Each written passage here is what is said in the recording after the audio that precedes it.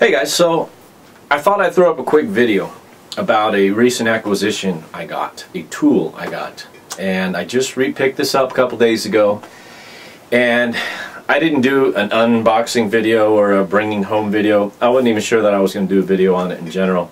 But uh, I figured I'd throw this up there real quick because this is probably going to come up in videos down the road. And I'll just introduce you to my new tool right now. he said he's going to introduce you to his tool.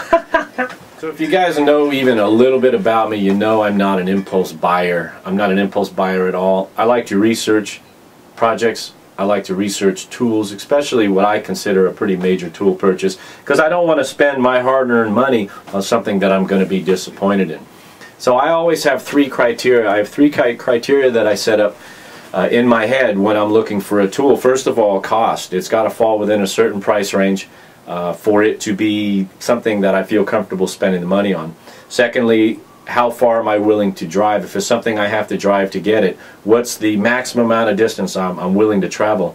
And thirdly, is it going to be able to handle my current needs and any needs that I may foresee for the future?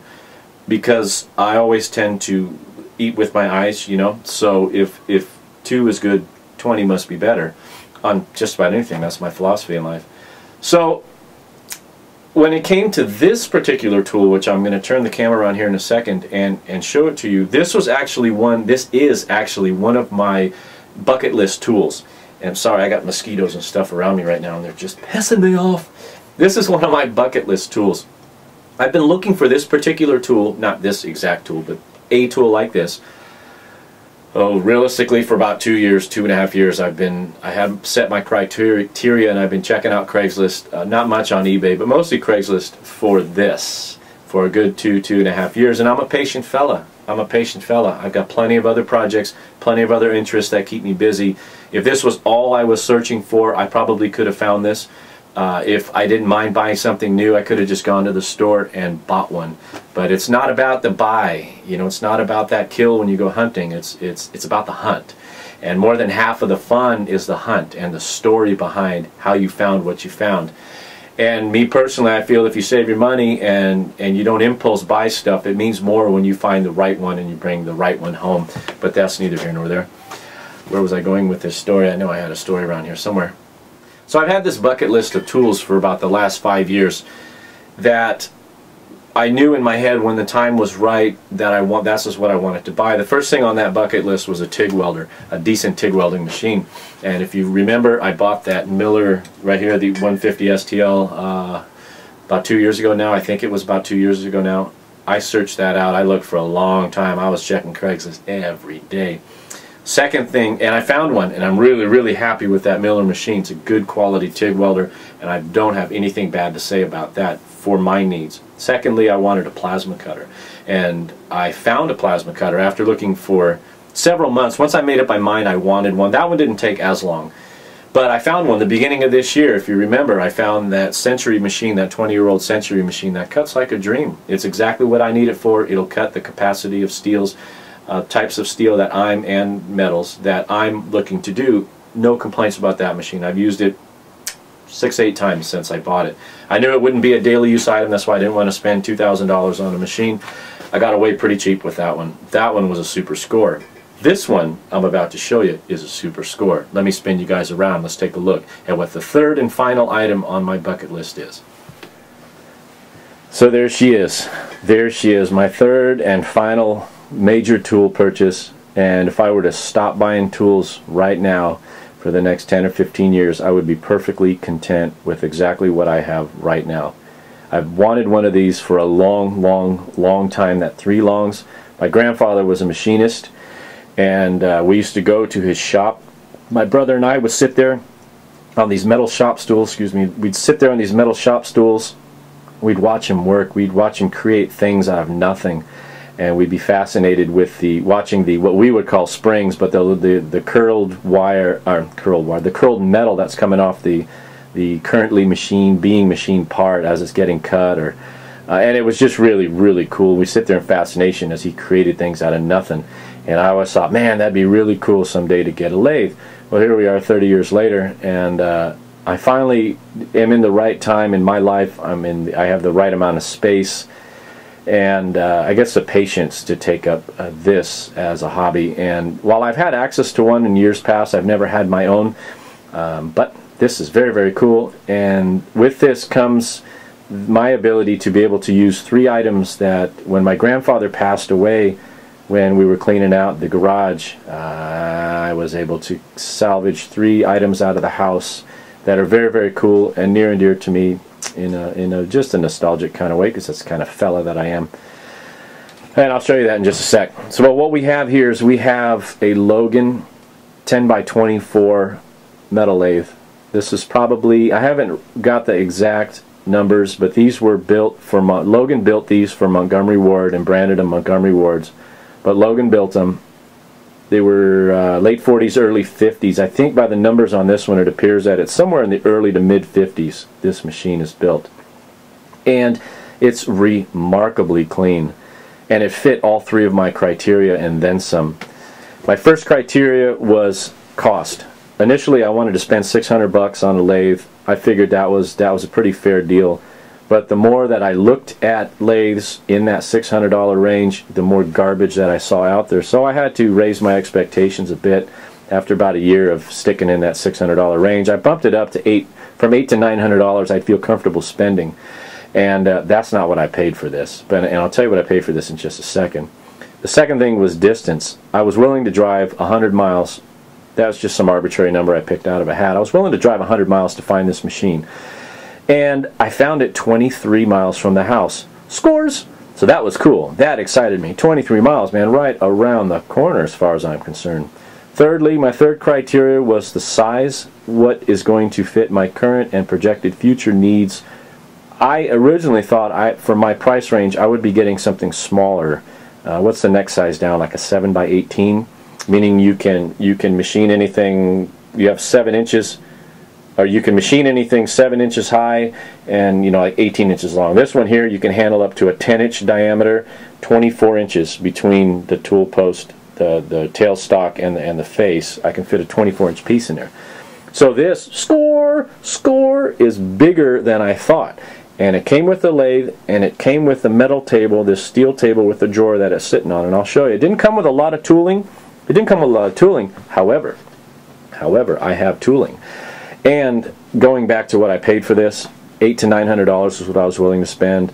The guy had this. I watched this. This lathe. I watched this lathe for about six months. This exact lathe. The guy started it out at seven hundred and fifty dollars, and uh, I watched him not sell it because he was kind of in a weird location, which is fine for me because I'm kind of in a weird location. I'm not really near any major city that makes it convenient he was kind of in my neighborhood, which was perfect. So I watched it go down and down every week. I watched this for months and months and months until he finally had it listed for $450. I went over there and took a look at it. I offered him 400 bucks and he took it. So I got this machine for $400, which I think is just just awesome. Just absolutely awesome. So let's get a little closer and take a look. Acorns falling out of the tree. So you're probably asking yourself, what kind of garbage did this guy buy for $400? And yes, I've already been messing with it. I finally got it all set up last night and was cutting some stainless steel tubing. Look at the bed on this thing. Look at how beautiful the bed the beds are, the rails are. Everything functions just remarkably smooth. Without any, I can go end to end on everything, lock to lock, without any binding, any hesitation tailstock is just, look at that. It's beautiful. It's beautiful. Oh, where'd it go? Beautiful. This thing, this thing performs and just glides. Look at that. Just glides. Oh, it's awesome. 400 bucks. It does have two things wrong with it. I'll tell you what's wrong with it real quick, and then I'll show you what tooling it did come with. First of all, it needs a belt. Oh, wow it needs a belt. This belt's kind of janky. It works, but it's pretty worn out. I'll admit that thing's pretty worn out. And secondly, the super slow gear, you can see right there, it's missing a couple teeth, missing like three teeth. One, two, three, four. No, excuse me. I can count. One, two, three, and then that one's four. That's only used when you're in super, super slow mode I'm not even going to worry about that. Honestly, I could probably come in and TIG weld these gears and then hand cut them because I mean I've built spline shafts before by hand, so I'm not that worried about it. But I can get this whole stepped pulley with this gear from eBay for about 70 bucks shipped. So. It did need a new pulley. He had a this is a half inch or half inch shaft, half horsepower motor he had a, pulley on here, inch and three quarters pulley on here with a 5 8 shaft hole, and he had it shimmed up, and it was kind of wobbly and janky. So I went and I bought a new a new pulley that was like three bucks for that little bitty pulley. The gears are all in fantastic shape. It didn't come with any extra gears, just the gear set that's in here right now. The auto feed works perfectly. You can see there's been a repair on this little tab, but but the auto engages and disengages forward, reverse, on the auto feed beautifully. The, all the gears work without any binding and uh, the teeth are nice and square. Shows very, very little use. Very little use at all. So let's let me show you what tooling it did come with. So here's the drawer. This is these are my tools. All these hand tools are mine. It did it did not come with the, the chuck wrench or in the chuck key or any of that stuff. This is the pulley that I bought. Yeah, inch and three quarters, inch and three quarter, half inch bore, two dollars and eighty nine cents. Made in the U.S. of A. Pretty cool. Uh, let's see. It has a five inch three jaw chuck that it came with. The one that's currently on it is a six inch three jawed chuck. It has a live center. Has two live centers. Uh, has where it? it has one dead center, which is these these go in, in the tailstock piece. And I really wanted to drill uh, to be able to drill holes. And I had this in my inventory. This is a half inch. I figured I have to fabricate something. This is a drill chuck off some long gone drill. It's a half inch drill. And let me get this out of the way. So I was messing around with this live center here and this has a bearing on it this has a cool little bearing that's why it's considered live because it spins and I was messing around with this thing and I realized and I'm kind of a noob, I guess, at this type of end, uh, tailstock tools. But look, that unscrews. And if I put it in there straight, hello? What do I do? There it goes. So yeah, scores. So that'll fit in that tailstock and then I can drill stuff. Zoom. So that's pretty sweet. And then it comes with some other tooling that's really not meant for this machine. So as I mentioned, I've already been cutting with it. I was messing around with that stainless steel tubing. Oop, there it is that my buddy Troy sent me. I just cut a bevel on here just for funsies. And then I parted it off. And then I had two pieces of stainless and just out of funsies. just to see. Just to see. But look at look at how look at that. You can't even see the seam right now because I I faced these off, right? I stuck this in the chuck and I came in and I made sure these were square. Both ends were square just for funsies. I cut down about 50% of the outer material here, cut down about 50% of the damn phone, cut down about, and then there it fits. Now that would be an awesome weld. If I came in and TIG welded that, just fusion welded it, you'd never see it. You'd never see it. One of the things I, I one of the three things that I acquired when we were cleaning out my grandfather's tools and whatnot the three things that relate to this mill is this old metal shop stool. He had two of these metal shop stools in his garage. I got one, and my brother has one. These are likely the exact stools that we used to sit on and watch him work when we were kids. I think that's pretty damn cool. Secondly, when we were cleaning out the garage, I grabbed his old machinist lamp. This lamp is pretty cool. I do have a nice compact fluorescent bulb in there, which is kind of sacrilege in a in a lamp that's probably 60 years old, but what are you going to do? I've had that on my workbench for 20 years, and now it's actually back illuminating work. I think that's pretty damn cool. And last but not least, 75 pounds worth of steel. I've been hauling around this old Craftsman toolbox. This is my grandfather's toolbox that he would take to and from work or to and from uh, shops that he worked in. And let's take a look at what's inside of this. So I think this is really, really cool. Inside this box I found the original padlock. They used to lock this up. See it says Sears. The little thing that says Sears is brass, as are the keys. I have both keys, both original keys. say Sears on it. I just think that's the coolest, coolest thing. Turn the key, and it works. The lock still works. That is just so awesome. So there's the inside of the box. Look at all these. Look at all these cutting. Obviously, this this cutter is not designed for this small of a machine. A, uh, a 10 by 24 is still in most machinist circles considered considered a hobby machine and not uh, anything serious. However, all these guys will fit right into that lamppost tool, uh, that lamppost tool holder. And I have just, I've got shims, and I have, look at all these cutters. 99 out of 100 of the, well, most of these have carbide tips. Most of them have carbide. Some of these are for different softer metals. These have been ground for specific applications. I've actually, I actually have a handbook that uh, teaches and talks about how to cut these for specific needs depending on what you're doing. I've got to really research on that. However, this is just full of little bits. These are all these are all high strength steel, and oh, I can't. I'm, just, I'm so excited that I can finally use this stuff. Like I said, I've been lugging this heavy box. This whole thing is full of cutters, just full of them. Different angles, different things I want to do. Oh, it's awesome. And the bottom drawer up. I've got marking chalk. I have uh, boring bars. Oh yes, different shims. But these are these are going to be extremely useful in my farting around and working on this machine. These will all work perfectly with this guy. Oops.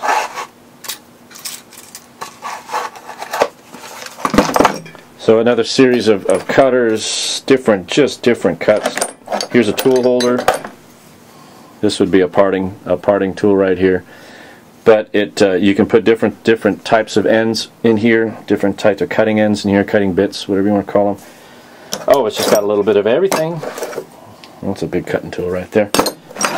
Exciting. Oh, yeah, there it is. More little bits and, and pieces and different things that holders. Here's a big boring bar. This one would not work on this machine, obviously. But it's cool nonetheless. I got stuff, man. I got stuff. Different indicators.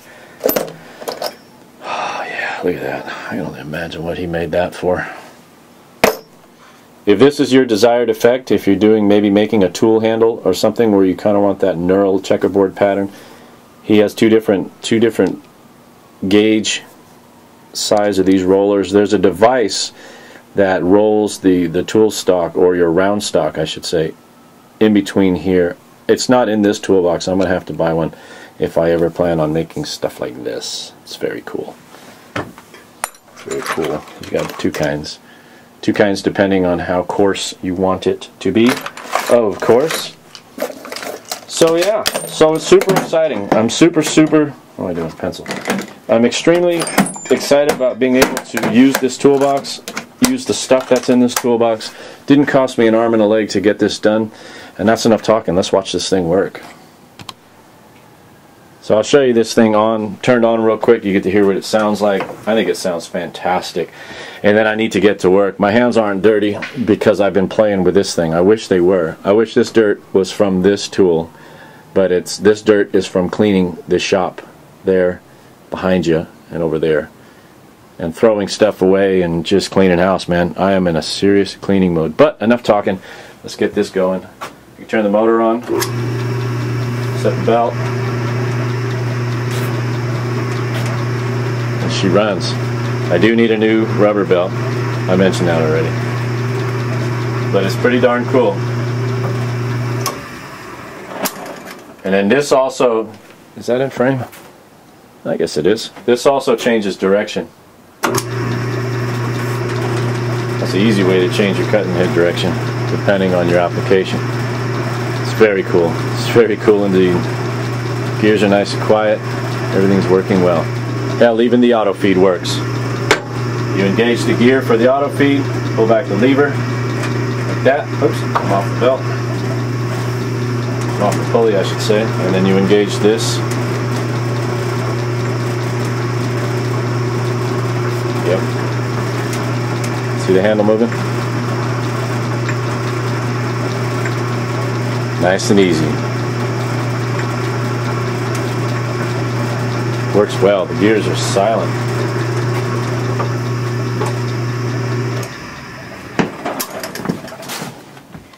Yeah, so there she is. The old Logan. 10 by 24 metal lathe. Awesome. I can't wait.